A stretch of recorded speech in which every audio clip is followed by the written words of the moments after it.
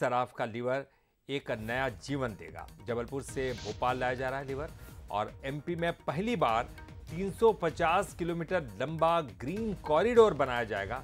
पहले हेलीकॉप्टर से लाने की प्लानिंग थी।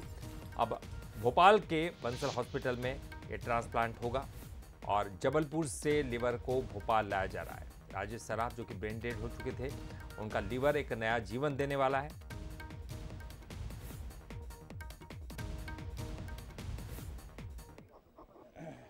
ये हमारे फैमिली मेंबर्स का सबका फैसला था कि अ, उनके ना रहने पे भी वो हमारे बीच में रहेंगे किसी ना किसी तरह से इस तरह से हम प्लान कर रहे हैं। बिल्कुल ये अ, हमने दोपहर में चार बजे फैसला लिया था और लोगों की सब एक मत राय हुई जब तो लगभग सात बजे सबका ऐसा फाइनल था कि हम ये करेंगे। मतलब मैं मैं या हमारे फैमिली वाले यही चाहते हैं कि वो कहीं ना कहीं वो भी जीवित रहें उनके अंश कहीं ना कहीं रहें।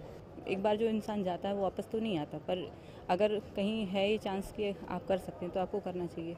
जब पेशेंट ब्रेन डेड सर्टिफाई हो जाता है तो उसके बाद यदि उसके जो परिजन है, वो पेशेंट का डोनेट करना चाहते हैं, जैसे कि इनके बेटे उनकी उनकी बहुत तारीफ़ करना चाहिए कि वो डोनेट करना चाहते हैं अपने पिताजी के ऑर्गन्स को। ये बहुत अच्छी बात है और बहुत अच्छा प्रयास है। तो मैं तो सबसे ज़्यादा तारीफ़ उनके परिजन की करना चाहूँगा।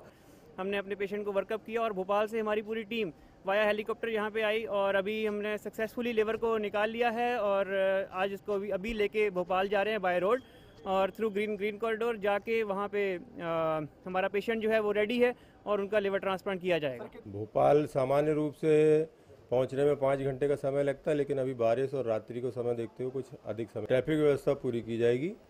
अपने जबलपुर की सीमा तक जबलपुर पुलिस करेगी और आगे पड़ने वाले जिलों की व्यवस्था वहाँ की पुलिस द्वारा की जाएगी। और इस वक्त हमारे साथ हमारे सहयोगी अमित सोनी जुड़ गए, उनसे बात करते हैं।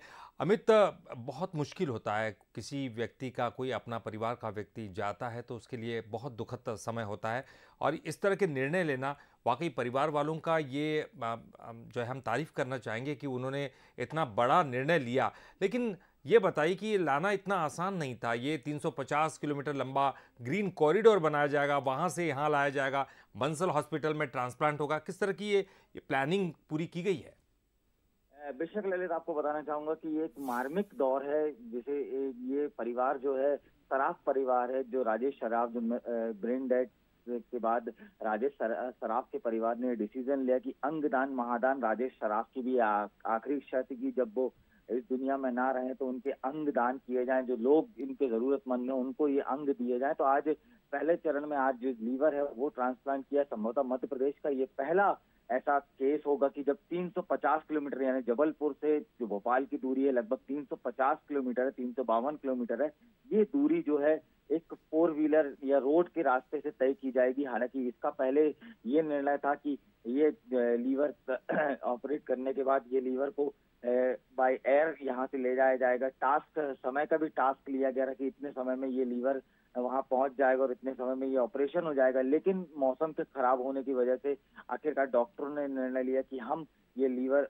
पेशेंट से लीवर निकालेंगे और इतने घंटे में हम इसको पहुंचाएँगे क्योंकि जबलपुर से लीवर पहुँचने में अभी वर्तमान में कम से कम पाँच घंटे लग सकते हैं क्योंकि मौसम बीच बीच में खराब है। तीन ज़िले जो है यहाँ से पार करना पड़ेगा। पहले जबलपुर जिला है उसके बाद नरसिंहपुर जिला, फिर रायसेन जिला। ऐसे तीन ज़िले पार करना पड़ेगा। इसमें प्रशासन ने भी एक कड़ी मशक्कत की है कि तीन जिलों को कोऑर्डिनेट किया है। ग्रीन कॉरिडोर तैयार किया है। ये बोल सकते हैं कि ये पहला मामला है कि जब 350 किलोमीटर से ज़्यादा, यानी 355 352 किलोमीटर का ये बड़ा कॉरिडोर जो है, जिला मध्य प्रदेश सरकार के जो अधिकारी हैं, उन्होंने तैयार किया, तीन जिलों ने मिलकर ये तैयार किया है कि कहीं पे भी कोई रुकावट ना आए, जो तय तय समय है, उस तय समय में जो है, ये लीवर जो है, मरीज़ तक पहुँच जाए उसका रात में ही संभवतः ऑपरेशन सर्जरी भी की जाएगी कि ये तय समय पे जो है, पेशेंट को लग जाए। तो इसको बोल सकते हैं कि एक कड़ी मशक्कत और एक कड़ी मेहनत और कड़ा जो मार्ग कड़ा एक डिसीज़न है, उसके बाद ये तमाम चीज़ें जो है आज होने को संपन्न हुई है। जबलपुर से जो है, यहाँ से लीवर लेके जो बंसल हॉस्पिटल की टीम है, वो रवाना पूरी त- पूरी हो गई है। जी। बिल्कुल अमित, और हम देख सकते हैं कि इसके लिए कितनी कड़ी मशक्कत करनी पड़ी और खास तौर पर उस परिवार की सराहना करनी पड़ी, पड़ेगी, जिसने ये एक महत्वपूर्ण निर्णय लिया। बड़ी मुश्किल से निर्णय लिया होगा, लेकिन ये निर्णय लिया और उन्होंने इस बात का संदेश भी दिया है कि अंगदान महादान है। अगर कोई व्यक्ति करना चाहे, अगर कहीं ऐसी मजबूरी है तो किसी एक व्यक्ति को जीवन मिलता है। इस बात का भी ध्यान रखना बेहद ज़रूरी है इस बात की तमाम कोशिशें भी की जा रही है। ग्रीन कॉरिडोर बनाया गया है। निश्चित तौर पर ये सफल जो है, यहाँ से जो लाना हो सकेगा और दूसरे व्यक्ति को ये लीवर ट्रांसप्लांट हो पाएगा। और निश्चित तौर पर हम ये कामना करते हैं कि उसको एक नया जीवन मिलेगा। बहुत बहुत शुक्रिया अमित इस पूरी जानकारी। रायपुर से अगली खबर।